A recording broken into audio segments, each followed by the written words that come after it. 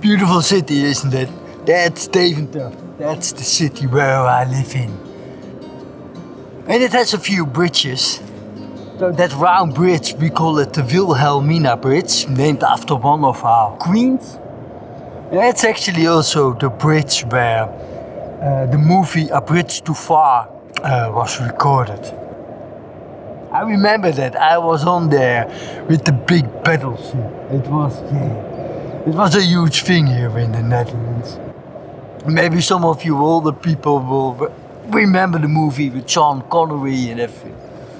Sean Connery asked my mom out on a date. How's that? Eh?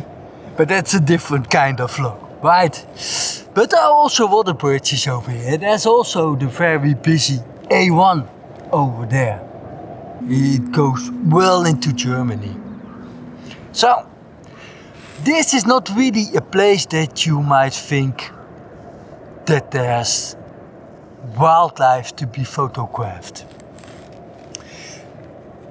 And actually, I did not do a whole lot of photographing uh, over here. So, probably because of that reason. Over the past few weeks, I was uh, driving over the A1 a few times, looking down, and I saw goose and I saw hares, and I, I thought maybe I should go there. So yesterday I was uh, checking the the weather report, and it said it would be clear this morning. There would be fog, and I was thinking that might be There's a redshank passing by. I was thinking that might be a really good opportunity just to check it out.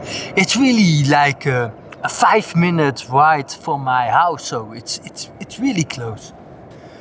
Uh, I was way underdressed this morning. I have uh, a couple of layers. My first layer is uh, uh wool, and then I had a fleece sweater, and then I had my ghillie suit. But that was not really enough because it was uh, quite damp and uh, well luckily there was not a lot of wind because I think uh, then I would probably need to get back home. Right, I parked my car over here so I needed to walk a little bit. Oh, and that was it was so quiet and the river was flat as a mirror was really beautiful. And there were a couple of Canada goose. They were in the water as well. Oh, I, I made a few photos, but I'm not sure if they worked out.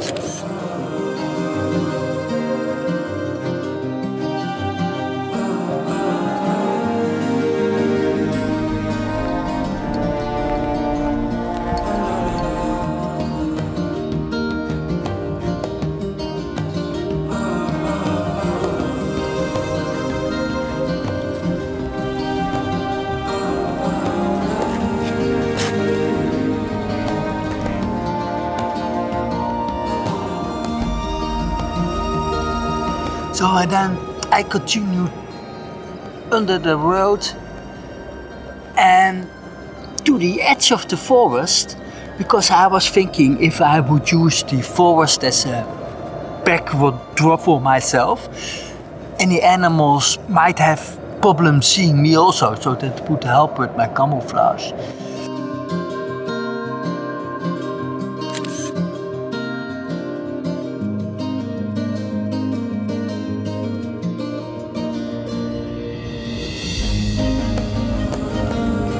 And it took a while, but then I saw a couple of hares and they were really far away.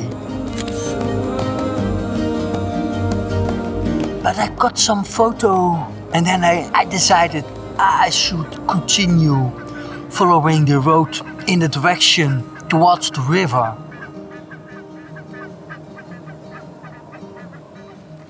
But there was not much to be seen near the river, so I decided I want to go back to the forest. And that was a good decision because when I was back at the forest with the dark woods behind me, there was a hare running towards me. So I crouched down. I was able to make a few photos. I don't know what was up because he was all alone, but he was running and then he would sit still. I had a look around. So I got a few photos of that, so that was really awesome. I think that really turned out the way that I hoped. A few photos this morning. Following that forest, there was so much going on. There were a couple of woodpeckers as well.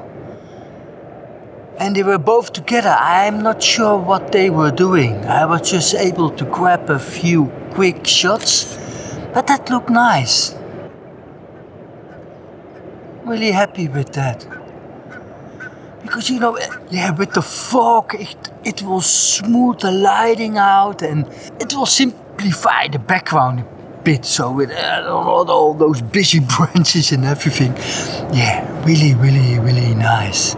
By then, oh, it was getting so cold. Because I was lying on the ground as well, because if I would lie down on the ground, I would have a lot of air behind the hare, so I would get a lot of white, so that hare would stick out from the rest of. There's a lot of dew, right? So I was really quite wet. So, so when I was walking back towards the bridge, I noticed a couple of geese, and they did not seem to be really bothered by me. So I just I crouched down, again flat on the ground, and they just kept going towards me, and there were these two geese, and they were looking to the right, looking to the left, and and twisting their heads and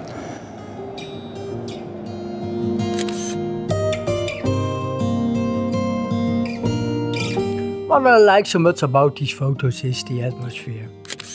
Of course I was hoping I could make use of the fog that morning. And in these photos it really helps. It gives the photo a sort of pastel, soft look. I really like it. I enhance the effect in editing by pulling the saturation down a bit.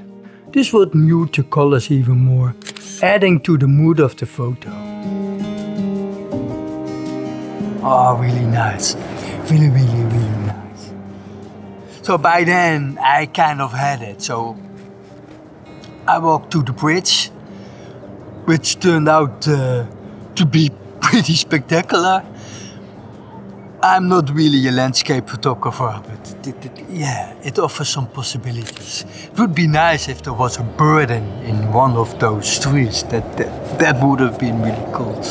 But that did not happen, so I walked back here along the river and then I bumped onto these two red redshanks.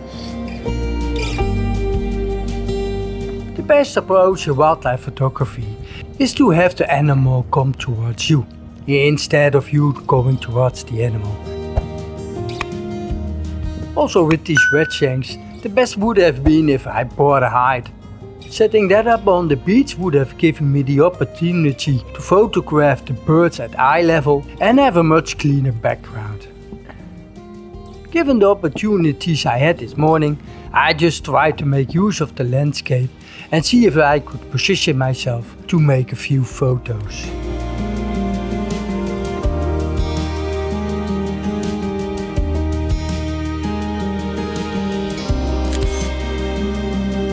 This one didn't turn out bad. I like it. I'm going home, have a warm shower, have some nice warm coffee and uh, guys I hope you liked this video. If you did a like and a comment would be much appreciated and uh, you can watch my next Oh, come on turn. First common tern I see this year. Ah, oh, but he's flying away, so no chance for a photo. Guys, I see you next time.